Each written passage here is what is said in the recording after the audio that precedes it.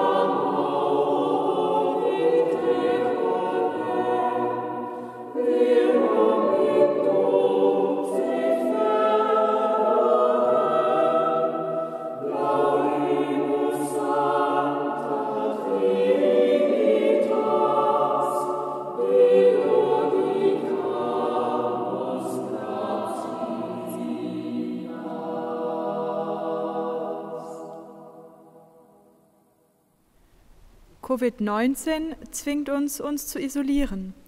Physische Isolation ja, soziale Isolation nein. Der Mensch ist ein soziales Wesen und lebt von Begegnungen mit anderen Menschen.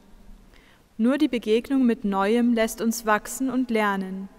Umso wichtiger sind momentan Begegnungsformate im digitalen Raum. So wie bei uns heute. Schön, dass Sie alle heute zusehen und besonders auch zuhören bei diesem Projekt, das nicht nur verschiedene praktizierende Künstler und Kunstinteressierte zusammenführt, sondern auch Tschechien und Deutschland näher zusammenbringt.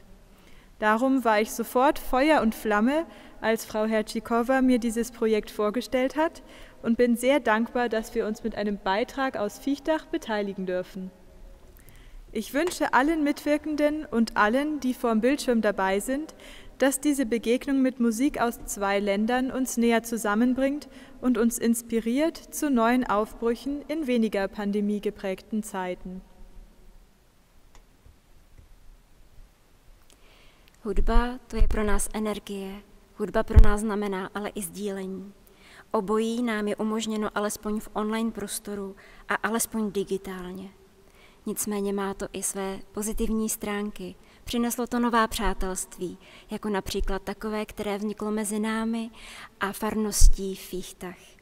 Sebelepší umělecký výkon naráží na jedinou bariéru v dnešní době, a to je absence živého posluchače v místě a v čase. Absence hudby milovných živých duší a tlukotu jejich lidských srdcí. Umělecký výkon, do kterého je energie a srdce hudebníka vloženo, se stává v digitálním světě pouhou 2D kulisou a technickým zvukem. I za tuto možnost musíme být vděční. A jsme, protože nás spojuje. V dávných dobách si přátelé psali osobní dopisy, aby nestratili vzájemnost. My jsme si společně s hudebníky z bavorského Fichtachu také dopisovali pomocí hudby, hudbou. A tento dopis sdílíme s vámi, našimi přáteli, a s touhou, že opět budeme vnímat vaše tlukoucí srdce, naplněná radostí ze živé hudby. Takový hudební dopis nebo vzkaz jsme napsali společně s Danielou a Konrádem Linkmanovými, s Beate Aldhammer Eisele a s kapelou Augustínou z Fichtachu, také s orchestrem Konzorcium Musicum z Plzně a se sborem Kolegium pro duchovní hudbu z Klatov s podporou farnosti Bodenmeist a pana faráře Alexandra Kola, stejně jako s podporou farnosti Fíchtach a pana faráře Wernera Konráda a s podporou Koinonie Giovanni Battista Plzeň. Toto celé by se nemohlo uskutečnit, kdybychom nedostali podporu jednak z města Plzně, také z města Fíchtach, ale také z Česko-německého fondu budoucnosti a z nadace 700 let města Plzně. Děkuji všem, kteří se pod tento hudební zážitek podepsali a vám, milí přátelé, za vaši podporu. Buďte zdraví. thank you